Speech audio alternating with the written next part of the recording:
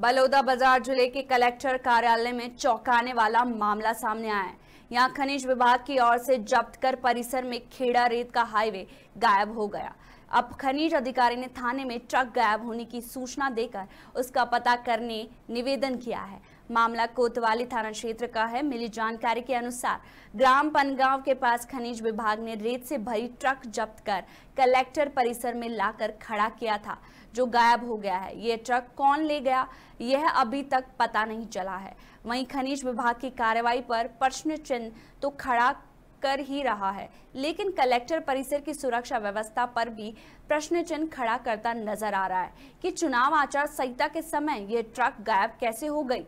साथ ही खनिज विभाग की भी लापरवाही सामने आ रही है। इस संबंध में कोतवाली थाना प्रभारी अमित तिवारी ने बताया कि खनिज विभाग से एक आवेदन आया है कि रेत से भरी ट्रक को अज्ञात व्यक्ति ले गया है। इसकी पता साजी की जा रही है फ़िलहाल। अभी तक ट्रक का पता नहीं चला है।